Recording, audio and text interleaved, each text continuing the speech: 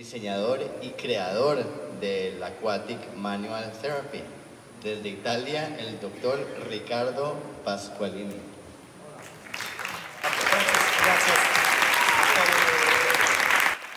Más que un método específico, es un sistema de diagnóstico